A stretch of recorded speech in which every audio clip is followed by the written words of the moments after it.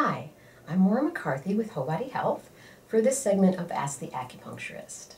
So a lot of people have asked me if there is a non-surgical facelift option using acupuncture, and the answer is yes. It's called the AccuLift.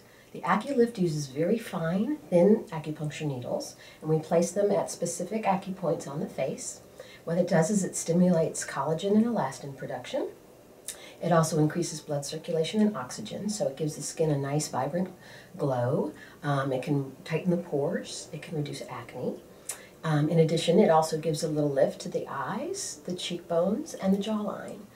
You also get the benefits of acupuncture with the AccuLift. We do body points as well, so a lot of people say the health benefits are um, lowering their blood pressure, reducing headaches, um, improving their allergies, uh, in addition to having vibrant, lovely skin.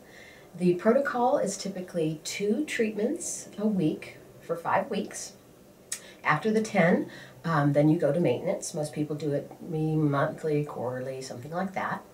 And um, if you give us a call and mention this video, non-surgical facelifts, you will receive 20% off your first visit. So give us a call here at Whole Body Health. Our number is 512 328 5200.